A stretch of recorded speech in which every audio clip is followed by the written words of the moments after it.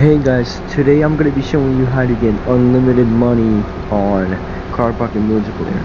So, uh, it says 18 hours right here. We're gonna fix that. Um, you're gonna want to go to settings and go to general. Click general. You're gonna want to click date and time right here, and you wanna just if it has if you have it on set automatically disable it for now um, you're gonna want to click the next day.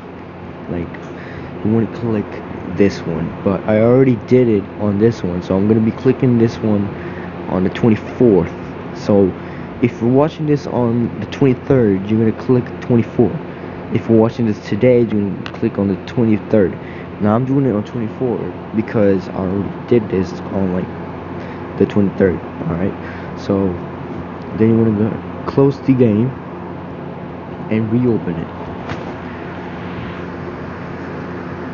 And hopefully it will show get gift on it. Sometime. There we go. And sometimes it will give you some random cards. Sometimes it will get you. There's a high chance that you're gonna get a hundred thousand dollars. Like, so this is easy. Like you could get one million coins. Like I mean one million dollars easy so yeah. Um i hope you guys like this video and yeah